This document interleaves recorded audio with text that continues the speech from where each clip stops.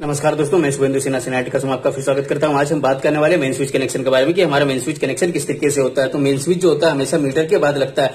Metre के बाद हमारा हमेशा मेन स्विच लगता है। उसके बाद हमारा एमसीबी हो गया आरसीसीबी हो गया या रिवर्सिंग चेंज ओवर हो गया डीपी स्विच हो गया, कुछ भी प्रोडक्ट है तो क्या होता है, हमारा मेन स्विच के बाद लगता है। अगर मीटर और मेन स्विच के बीच में अगर कुछ लगता है तो वो हमारा बस किटकेट फ्यूज जो होता है, वो कभी कभी बीच में आता है। अदरवाइज़ हमारा जो भी होता है, वो सब मेन स्विच के बाद ही लगता है। अगर एमसीबी हो आरसीसीबी हो डीपी स्विच हो या रिवर्सिंग चेंज ओवर कुछ भी हो, ये क्या होता है इसके बाद लगता है तो हम आगे के वीडियो में जानेंगे कि उसके बाद का कनेक्शन किस तरीके से होता है। आज हम बात करने वाले मेन स्विच कनेक्शन किस तरीके से करते हैं। तो मेन स्विच जो होता है, उसमें आप सोलह एम्पर का आपको मिल जाता है, बत्तीस एम्पर का मिल जाता है, साथ में तिरसठ एम्पर का आपको मिल जाता है हाउस वायरिंग के लिए देखा जाए तो।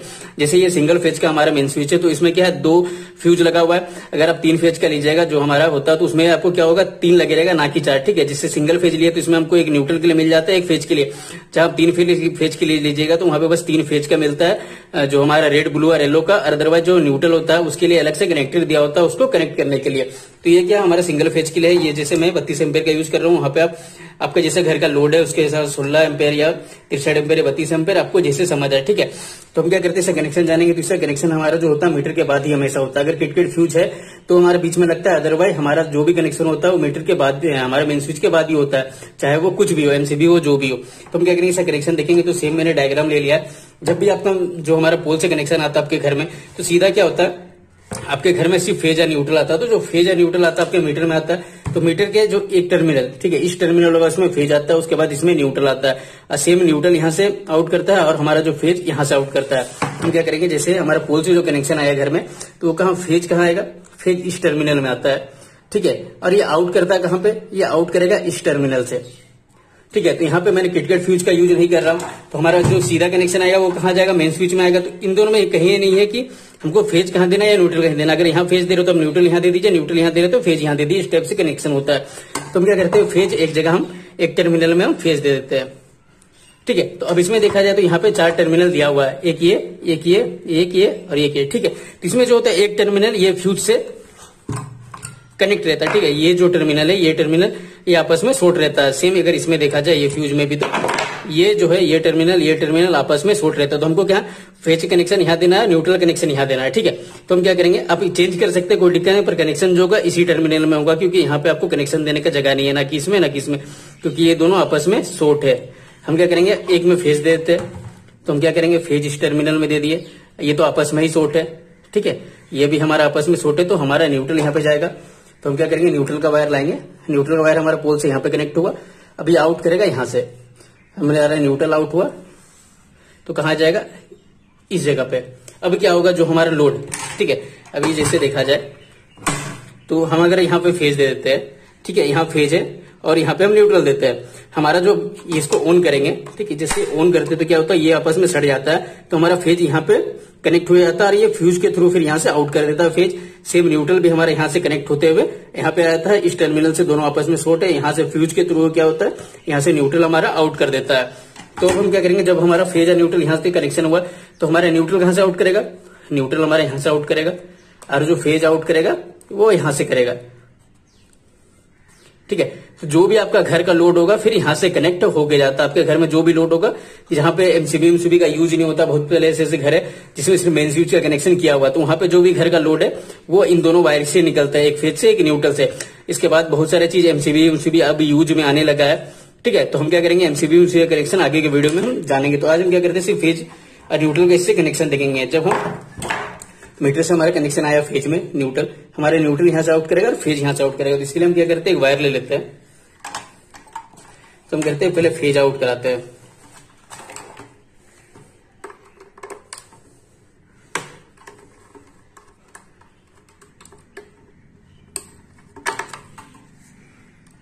ये हमारा फ़ेज़ आउट हुआ।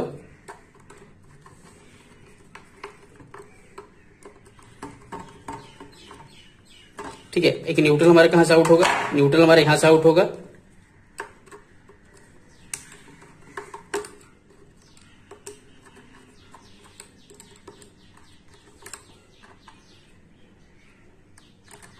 अब इसमें रहा वायर का साइज़ ठीक है तो वायर का साइज़ आपके घर पे लोड पे डिपेंड करता है, पर अधिकांश जो इसमें वायरिंग में यूज़ होता है तो कोशिश कीजिए अढ़ाई या चार एमएम का वायर का यूज़ करने का, ठीक है मेन स्विच में जो भी कनेक्शन होता है, या तो अढ़ाई या फोर एमएम का वायर का यूज़ कीजिएगा। ठीक है? तो हमारा एक हो गया फ़ेज़, एक हो गया न्यूट्रल। अब हम क्या करेंगे? इसको हमको लेके जाना है मेन स्विच में। तो हम क्या करें? एक टर्मिनल में हम फ़ेज़ दे रहे एक में न्यूट्रल दे रहे ठीक है? तो हम फ़ेज़ हमारा यहाँ पे जा रहा तो हम क्या करते हैं? फ़ेज़ यहाँ दे देते हैं।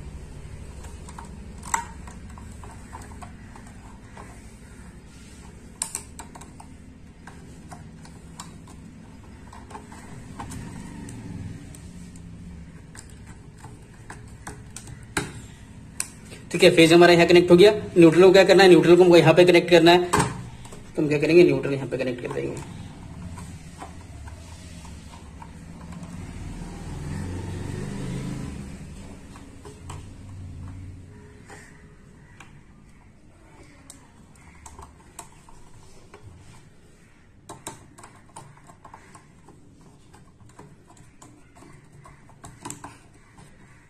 ठीक है? जैसे ये आपस में सटा हुआ तो हमारा फ़ेज़ यहाँ पे आउट कर गया फ़ेज़ हमारा न्यूट्रल यहाँ से तो यहाँ पे आउट कर गया। ये दोनों टर्मिनल आपस में शॉर्ट है।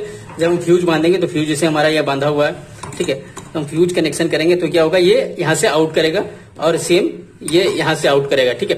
तो मैं घर का तो लोड आपको दिखा नहीं सकता तो क्या करेंगे? एक लोड के लिए मैं एक होल्डर का चेक कर लेता हूँ, ठीक है?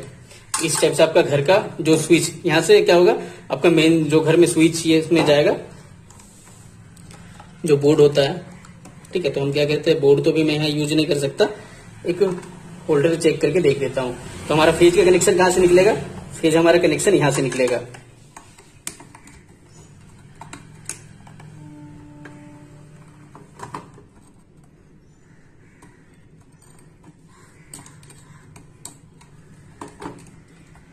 ठीक है, और हमारा न्यूट्रल आउट करेगा यहाँ से। तो जो भी आपके घर का बोर्ड होगा फ़ेज़ का यहाँ से, न्यूट्रल यहाँ से आपका आउट कर देगा। अगर आप यहाँ पे फ़ेज़ दीजिएगा तो आपका फ़ेज़ यहाँ से आउट करेगा। न्यूट्रल यहाँ दीजिएगा तो न्यूट्रल यहाँ से आउट करेगा, ठीक है?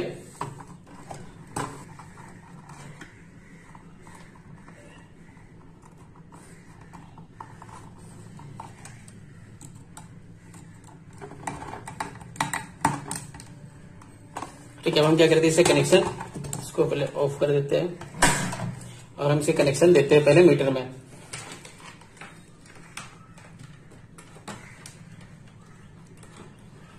तो जैसे आपका घर का अगर मीटर चालू है तो यहाँ से क्या होगा? फ़ेज़ न्यूट्रल यहाँ से आउट करते हुए कहाँ पे आ गया? हमारा यहाँ पे। अब क्या होगा? देखिए, फ़ेज़ हमारा यहाँ आ रहा, न्यूट्रल यहाँ आ रहा। हम ये जब नीचे गिराएँगे तो क्या होगा? फ़ेज़ यहाँ से शॉर्ट करते हुए यहाँ पे चल जाएगा, न्यूट्रल यहाँ से शॉर्ट करते हुए इसके थ्रू यहाँ पे चल जाएगा। फिर फ्यूज के थ्रू हमारा चल जाएगा। तो हम क्या करते हैं? पहले फ्यूज लगा लेते हैं। ये फ्यूज हमारा आपस में शॉर्ट है। तो हम क्या करते हैं? ठीक है, अब हम जैसे इसे गिराते हैं इसे क्या होगा? हमारा मेन स्विच हमारा जो बल्ब है, ये चालू हो जाना चाहिए। तो ये बल्ब हमारा चालू हो गया। तो इसी तरीके से मेन स्विच का कनेक्शन होता है और इस हिसाब से आप कर सकते हैं। चलिए धन्यवाद। आगे के वीडियो में हम देखेंगे कि इसके बाद हमारा जो कनेक्शन वो किस तरीके से होता है।